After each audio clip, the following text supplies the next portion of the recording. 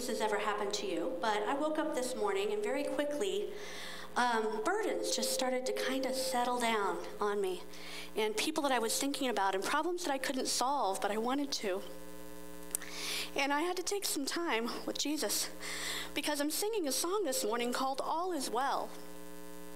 And uh, I felt like my spirit was kind of saying, Really? because it kind of doesn't seem like it is.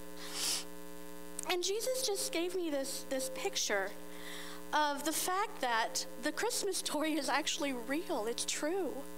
That angels really did fill the sky in a very, very, very dark time in history to some, some very troubled men out on a hillside and said, Don't be afraid, because I'm bringing you incredible news of great joy. Because he's our wonderful counselor, our Prince of Peace, our mighty God, our everlasting Father. And those things are not mine to solve because He gets to be God and because the Christmas story is real. And that's why all is well. And I'm so thankful for the way He reminded me of that this morning.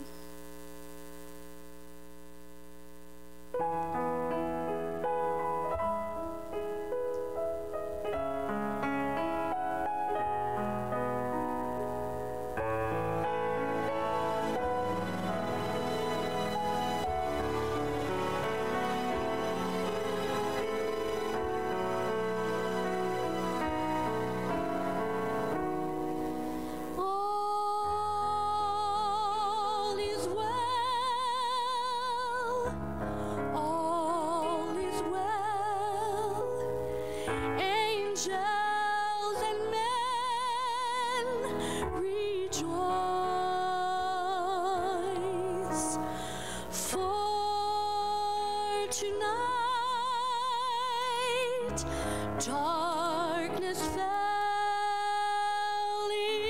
into the dawn of love's light.